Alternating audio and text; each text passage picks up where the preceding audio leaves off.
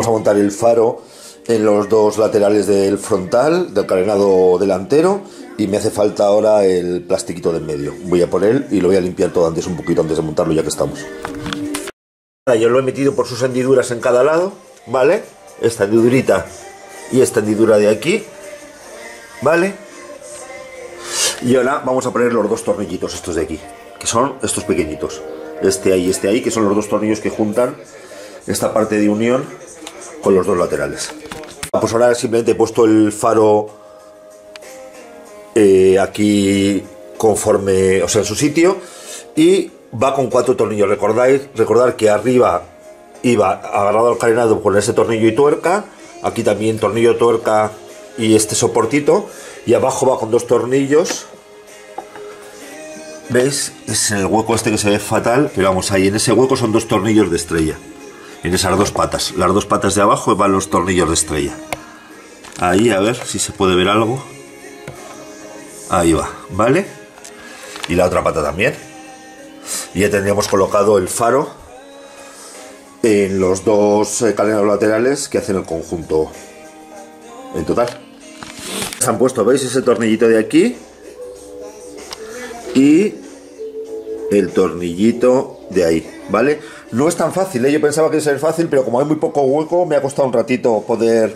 Además no he cimantado ese, ese tornillo, no sé por qué, y entonces, bueno, hasta que lo he podido meter en el agujerito me ha costado un ratito, pero bueno, ya está. Entonces, los dos de abajo, los dos de arriba, ya tenemos el conjunto del faro con los carenados laterales. Ahora vamos a colocar los carenados laterales aquí en la araña delantera, tal y como lo quitamos ayer, ¿vale? De frente de frente y listo. Vamos a ello. Ah, ya está colocado, hay que meterlo con mucho cuidadito, despacito, ¿vale? En su sitio, para no romper, que no se rompan los carenados, no está fácil, hay que hacerlo despacito y ya está puesto. Venga, vamos con el siguiente paso, que quiero recordar que era colocar el protector este de aquí arriba. Lo que voy a hacer ahora es colocar los, los espejos retrovisores. Ahora van los espejos retrovisores. Venga, voy a ello una cosa, antes de seguir lo que tenemos que hacer es conectar los conectores que teníamos desconectados, ¿vale? Nos quedaban dos conectores, así que eran tres conectores, vaya.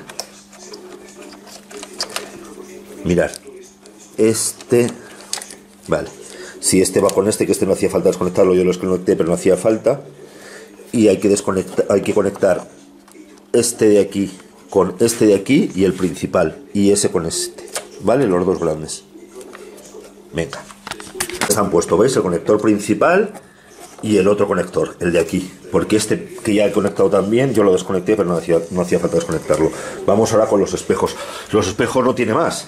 Tiene la gomita esta de aquí y metemos los dos espárragos. Ahora voy a quitar los tornillos las tuercas estas y luego por abajo lo enganchamos con las tuercas. Tenemos que meter los dos cables en el caso del izquierdo, que lleva dos cables, el del sensor del aire y el, y el de la intermitencia, por el agujerito este y por el agujerito de, la araña, ¿vale?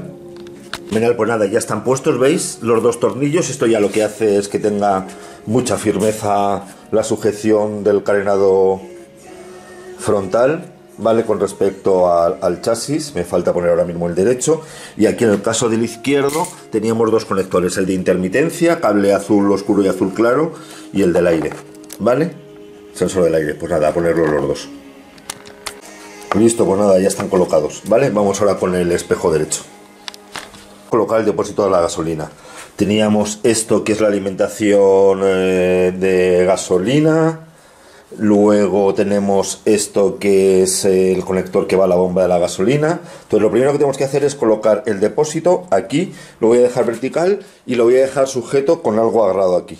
¿Vale? De tal manera que pueda trabajar con el depósito vertical para poder colocar esto bien a par. El par de apriete de este de aquí es de 22 newtons, entonces lo apretaré bien a par. Colocaré bien la toma de gasolina de aquí, pondré esto de este conector y estos dos aireadores, ¿vale? El exterior era el que teníamos en blanco y el interior era el otro, ¿vale? Y ya está. Entonces, lo primero, poner el depósito de la gasolina ahí, que lo teníamos aquí. Venga, voy a por ello y lo ponemos. En principio no hace falta que lo ate aquí de momento porque esto se sostiene bien, simplemente que hay que tener cuidado que no se nos caiga lateralmente, porque solo está apoyado ahí. ¿Vale? Pues nada, aquí tengo el tornillito con las dos arandelas muy importantes que van aquí, que es este de aquí, y el par de aprieta es 22 newtons, es lo primero que voy a apretar, ¿vale? Luego aquí tenemos el conector que va con este conector, y aquí tenemos la toma, que vaya a la toma de... Esto es lo que lleva en medio normalmente la desconexión rápida, que era una de las cosas que fallaba en estas motos, y aquí optaron por no tenerlo de la desconexión rápida. Eh, pues una vez que hemos apretado este tornillo con las dos grandelitas de cobre ahí puestas, muy importante, a 22 newtons, ahora el siguiente que nos toca es colocar la toma esta aquí, ¿vale? Y apretarlo con esta abrazadera. Vamos a hacerlo. Ok, pues una vez ya que lo tenemos bien puesto, nos queda la conexión esta eléctrica que va aquí de la bomba de la gasolina y nos quedan las dos tomas de aireación que para eso bajaremos el depósito y lo pondremos ahí sujeto con el palito. ¿Vale? Pues venga, vamos a atar esto. Aquí hemos fijado el conector. ¿Vale? Ponemos el palito este para dejar el depósito subido. Y nos queda por conectar este que teníamos con la cinta blanca era este de aquí exterior y el otro es el interior. Vamos a ello. Todo colocado, bajamos el, el depósito ahora y lo primero que tenemos que poner es estos dos tornillos de aquí que los, tenía, dejaba, los había dejado ahí colocados para que no se nos perdiesen, estos de aquí, ¿vale? Van por aquí. Y luego la tapa de, de esto que va con estos dos tornillos de aquí, así que ya los puedo quitar porque estos cuatro ya no se me pierden y lo pongo. Nada, poner estos dos tornillos y los dos tornillos de la tapa, vamos a ello. Ya aprovecho para limpiar todo bien, ahora queda bien limpito depósito, bien limpito los plásticos, ya que estamos, ya lo dejamos todo totalmente impecable como nueva. ¿Vale? Pues venga, continuamos. He puesto estos dos tornillos, nos toca poner la tapita esta, que va, perdón, va así. ¿Vale? Y ahora los dos tornillitos que sujetan la tapita al depósito. Que son estos dos tornillos negros que tengo aquí. Vamos a ello. Lo hecho, ya está puesta la tapita. Vale. Fenomenal. Ya estamos a puntito, a puntito de terminar. Nos quedan poner los carenados laterales, la quilla de abajo y el grupo del asiento. Y listo, terminado. Es el momento, ya los he limpiado, los que limpiar, de poner la quilla de abajo, los carenados laterales inferiores. ¿Vale? Estos van aquí. Este es el derecho. ¿Vale? Y este de ahí es el izquierdo. Perdón, este es el izquierdo. Y este de aquí es el derecho. Venga, vamos, voy a ponerlos ya con la colocación de los carenados inferiores o, quilla. Vale, entonces aquí en el lado izquierdo es como cuando el proceso inverso eh, a cuando lo desmontamos, ¿vale? Lleva este tornillo de aquí, este tornillo de aquí, este tornillo de aquí, tres arriba, este justo de aquí, que es el de atrás del todo, y luego lleva este tornillo de aquí, bueno, no, este, sí, mirad, este también coge el carenado. Este tornillo de aquí y estos dos tornillos de aquí. Estos tres son pequeños, ¿vale? Y los otros cuatro de aquí, estos tres de aquí son grandes y ese de allí también es grande. Estos cuatro de arriba son grandes, ¿vale? Como dos tamaños, pequeños y grandes, pues esos son grandes, ¿vale? Y lo mismo, lo mismo con este lado de aquí derecho, ¿vale? Tenemos el de aquí, que en este caso este es pequeño, estos tres grandes y los de ahí iguales al otro lado. Vale, pues venga, pongo los de delante y ya solo me quedarían los carenados laterales. Estos son los dos tipos de tornillos, o los pequeñitos o los grandes. Ahí está la historia. Están los dos tornillos de aquí, más el tornillo este de ahí y el tornillo de allá. ¿vale? Así que tendríamos la, la quilla puesta. En total son 1, 2, 3, 4,